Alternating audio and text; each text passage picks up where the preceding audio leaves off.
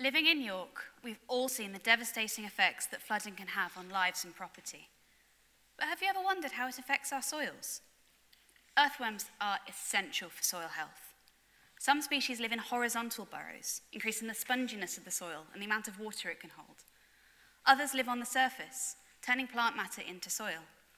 And others still live in deep vertical burrows, stirring the soil and bringing nutrients from the surface to deeper down. Now I've got a quick question for you. When's the last time you saw an earthworm? Unless you're a gardener, or a fisherman, or perhaps a PhD student with quite a niche interest, it was probably on the ground after the last time that it rained.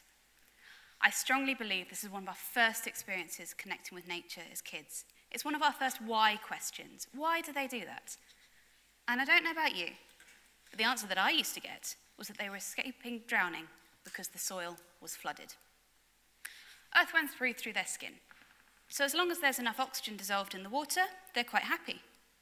The problem for them when soil floods is that bacteria use up the oxygen very quickly.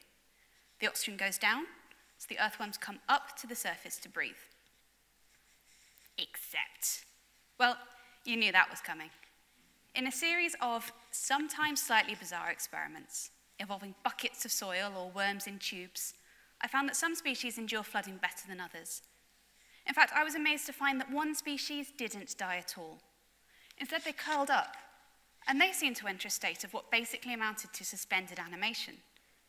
And when I dug into field populations, I found that areas that regularly flood were almost entirely dominated by this one species, and as a result, had very low biodiversity. Beautifully shot nature documentaries have been telling us for years about the importance of biodiversity, and earthworms are no different, although not very photogenic. Darwin thought of them as nature's plough. Nowadays, we call them ecosystem engineers. But the point is that all of these different earthworm species live in different parts of the soil, and together they play important roles in turning it over. Now, in the UK, flooding is increasing, and it's only going to get worse.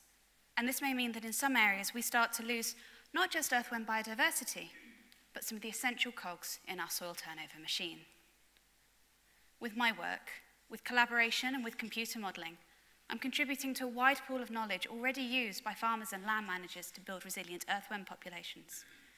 But if you take nothing else from this, remember that efforts to control and mitigate against the effect of flooding can't just protect our towns and cities and the people in them, it must also protect our soils, our fields, and the creatures essential for soil health and food production.